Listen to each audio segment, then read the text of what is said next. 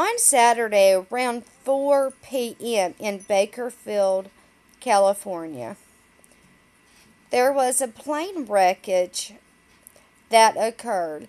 A small plane had crashed. Oatman Orchard in California, near ba- uh, Bakersfield, you guys.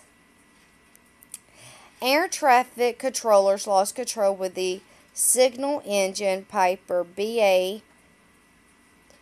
32. They have not released the names of the victims yet. Sometime today they're supposed to release it, which is Monday. But I just wanted to put this out there that there's a lot more plane wreckages and things like that's going on. Um, the five victims, you know, um, that have been found dead as well. Pray for their families as well, you guys. Thank you, guys.